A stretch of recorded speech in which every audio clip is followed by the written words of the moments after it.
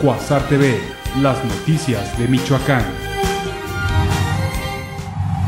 secretario de Gobernación Miguel Ángel Osorio Chong reiteró en Morelia ante empresarios michoacanos que el gobierno federal permanecerá en el estado hasta que la población cuente con policías honestos, preparados y comprometidos con la sociedad. No va a estar permanentemente el ejército, ni la Policía Federal, ni la Marina, ni la PGR aquí. Pero no nos vamos a ir hasta que no estén las autoridades municipales, me refiero a los cuerpos de seguridad, comprometidos y bien formados al servicio de toda la sociedad de este gran estado. Nos vamos a ir cuando esté el desarrollo en el impulso que se requiere y que ya merecía el Estado de Michoacán. Insistió que el comisionado Alfredo Castillo permanecerá de manera indefinida en Michoacán en representación del gobierno federal hasta que estén dadas las condiciones con instituciones fuertes y policías cercanas a la población. Con información de Sandra Sáenz Informa, Cuasar TV. El gobernador de Michoacán, Fausto Vallejo Figueroa, deslindó al exmandatario Lázaro Cárdenas Batel de cualquier irregularidad en el uso de los recursos económicos durante su mandato y señala que los procesos que se siguen son contra exfuncionarios de la administración de Leonel Godoy Rangel. Este, el, el exgobernador Lázaro Cárdenas Batel tiene alguna responsabilidad en estas investigaciones que se lleva a cabo? Ninguna, lo digo con mucha precisión. Si hubiera, ni modo, pero eh, lo deslindo totalmente. Eh, es decir, son acusaciones muy precisas. Aclaró que el hecho de que se esté investigando a exfuncionarios de la administración pasada no significa que haya alguna imputación contra el exgobernador Leonel Godoy. Para Cuasar TV, Sandra Sáenz. El secretario de Seguridad Pública de Michoacán, Carlos Hugo Castellanos Becerra, confirmó el desplome de una avioneta en las inmediaciones de la presa de Infiernillo del municipio de Arteaga. Dijo desconocer características de la avioneta y detalles de la tripulación, así como destino pero informó que el accidente se registró alrededor de las 15.50 horas de la tarde de este jueves. No tengo las características propias de qué tipo de avión, pero lo que sí puedo decirles es que ahí cerca de la laguna del Infiernillo, aproximadamente a las 3 con 45 minutos, 3.50. Castellanos Becerra informó también que en las cercanías de la zona donde se despronó la aeronave, también se suscitó un enfrentamiento entre elementos de la Marina y presuntos delincuentes. Para Cuasar TV, Sandra Sáenz. Con 36 votos a favor, uno en contra y dos abstenciones, los diputados del Congreso del Estado aprobaron el dictamen con proyecto de decreto por el que el Ejecutivo Estatal, a través de la Secretaría de Finanzas y Administración, podrá contratar uno o más créditos contingentes durante el ejercicio fiscal 2014.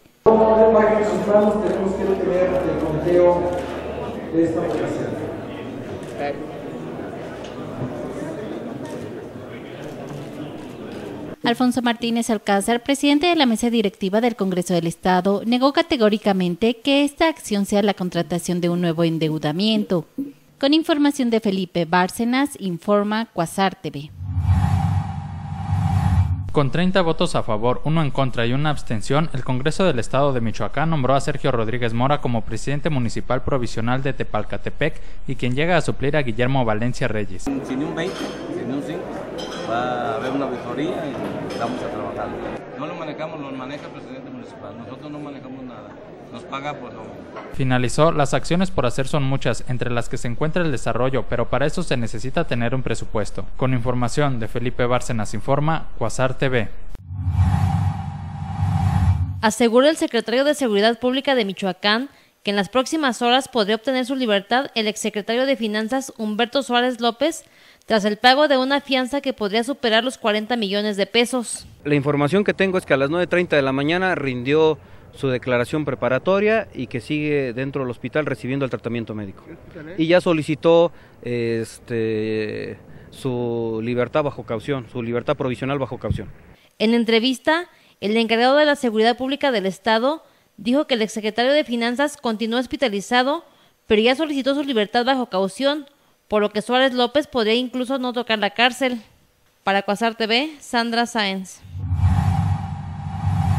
El Frente Binacional Michoacano y los líderes michoacanos en el exterior demandaron este día la inclusión de sus derechos políticos ante la ley. En voz de Rubén Chávez se solicitó la integración al Congreso del Estado de dos candidaturas plurinominales que los representen. Hay una iniciativa de ley presentada eh, por los diputados Ligia López y el diputado Blanco Naranjo Sebastián Blanco Naranjo y, es ah, en relación a esta iniciativa donde eh, se está buscando dos posiciones plurinominales para los migrantes. Chávez señaló que representantes de los aproximadamente 40 clubes que aglutina el Frente llegaron a Michoacán para iniciar una campaña de cabildeo en apoyo a la creación de la circunscripción de las candidaturas, con el afán de avanzar en la rendición de cuentas hacia las comunidades migrantes.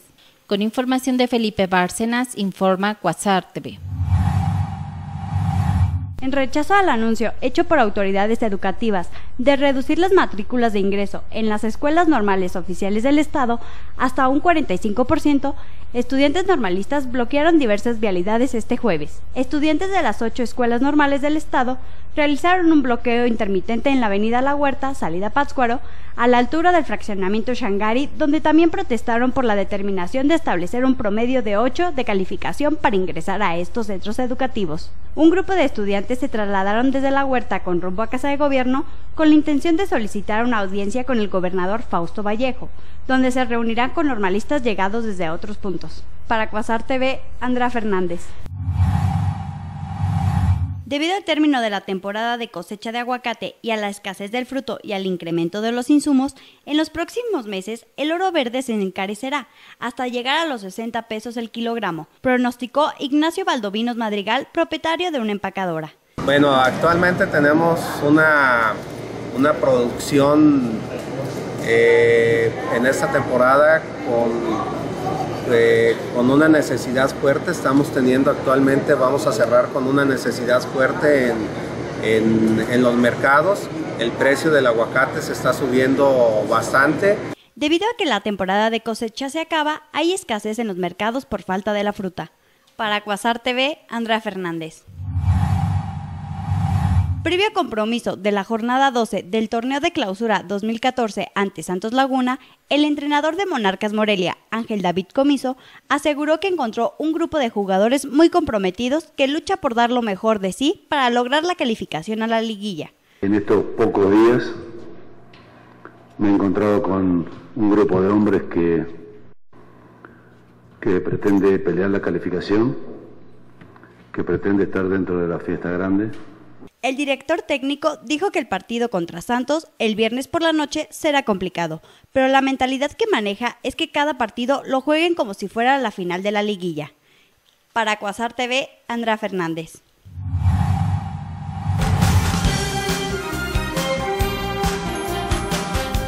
Cuasar TV, las noticias de Michoacán.